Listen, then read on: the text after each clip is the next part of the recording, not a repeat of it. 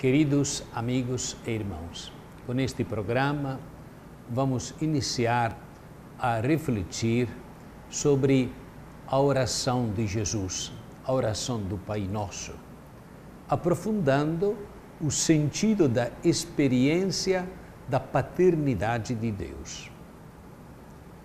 Pai Nosso que estás no céu, podemos encontrar-te aqui na terra? Esta pergunta pode ser o ponto de partida da nossa reflexão sobre a primeira palavra da oração que Jesus ensinou aos seus discípulos. Porque o fato de existir um Pai no céu pode ser uma revelação interessante para o nosso conhecimento, mas que esse Pai seja alcançável para nós não apenas no futuro, mas desde o presente momento, significa poder preencher a nossa existência com uma presença amorosa, da qual nosso coração manifesta uma ardente necessidade.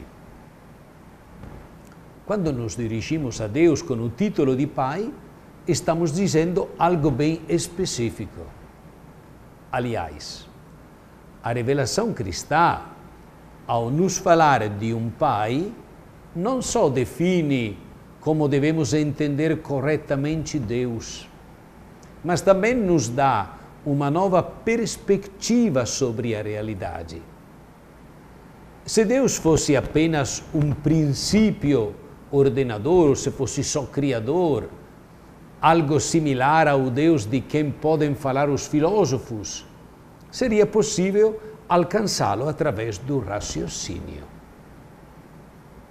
Deus, nas palavras da revelação cristã, não é apenas um Deus criador, ele é Pai.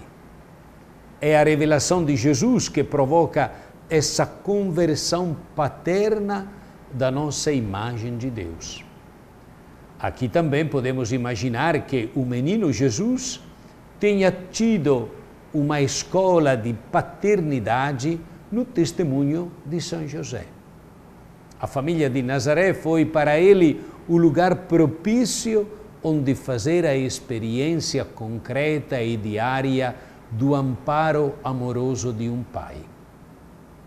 Naquela habitação humilde e digna, na presença discreta e apaixonada de São José, ia crescendo em sabedoria, estatura e graça diante de Deus e dos homens.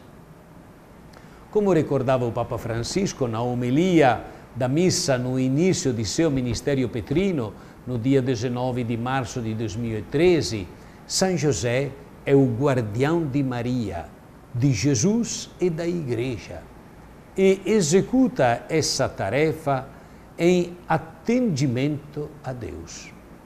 O cuidado, o amparo, exige bondade, exige ser vivido com ternura.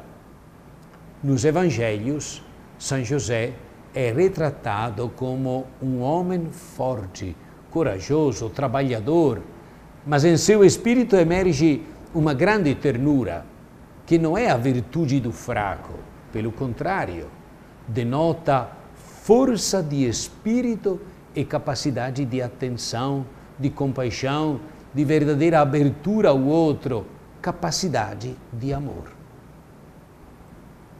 Jesus, em sua contínua referência ao Pai, permite-nos inverter outra perspectiva, cada vez mais difundida na atualidade Hoje nós estamos cada vez mais propensos a olhar para os filhos como objetos de desejo, como extensão narcisista do nosso olhar.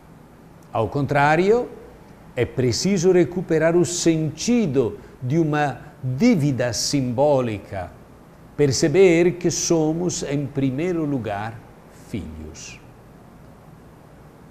Somente a partir da presunção consciente de sermos filhos podemos nos tornar adultos e gerar por nossa vez filhos. Caso contrário, encontramos-nos em competição com os nossos filhos pelos mesmos espaços. Adultos que se vestem e se comportam como crianças, ou pretenderemos que sejam eternamente felizes e cheios de sucesso, e somos incapazes de apoiá-los frente aos inevitáveis fracassos da vida. Mas o que significa então que Deus é Pai? Devemos mais uma vez reportar àquele que nos fala de Deus desta maneira. Uma vez mais, precisamos nos voltar para Jesus. Jesus encontrou em José o testemunho de um amor paterno. A casa paterna foi para ele um lugar de atenção e de cuidado, de ternura e de paixão. Mas se Jesus fala de Deus como um pai, é porque tem um testemunho ainda mais profundo, ainda mais radical, do qual a vida de José pode ser considerada apenas como uma imagem.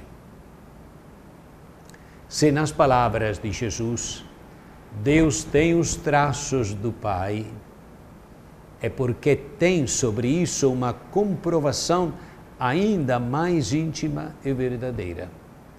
Isso quer dizer que Jesus não criou para si a imagem de Deus como um Pai, não fez para si um conceito do Criador adaptando a uma figura familiar para todos, que transmite a sensação de proteção e de afeto.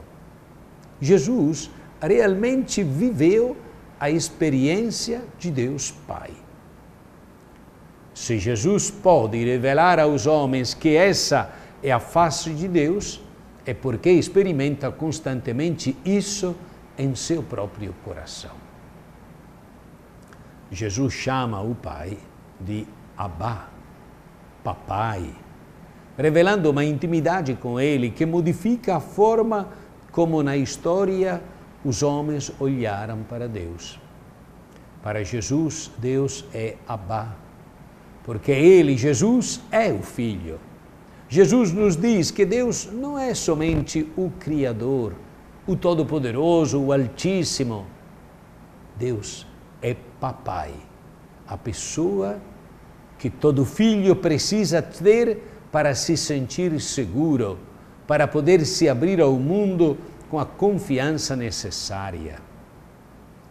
A intimidade que Jesus tem com o Pai abre-se para um afeto alimentado por ternura.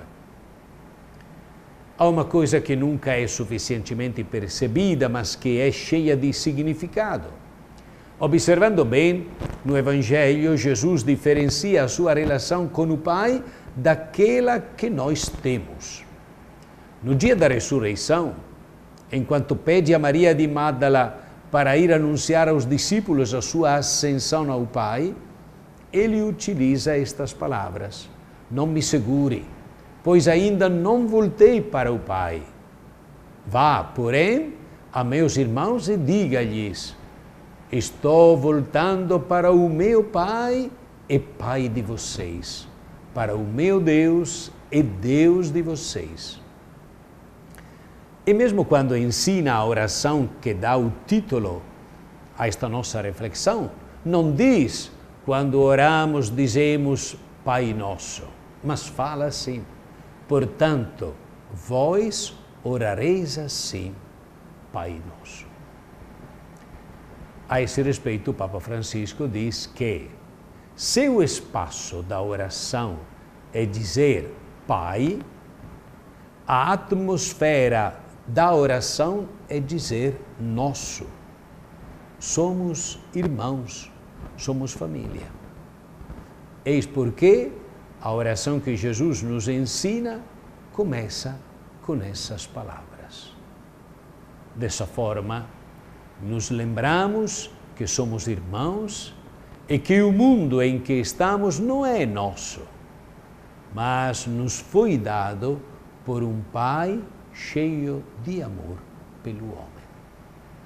Que Deus abençoe a todos em nome do Pai, e do Filho e do Espírito Santo. Amém.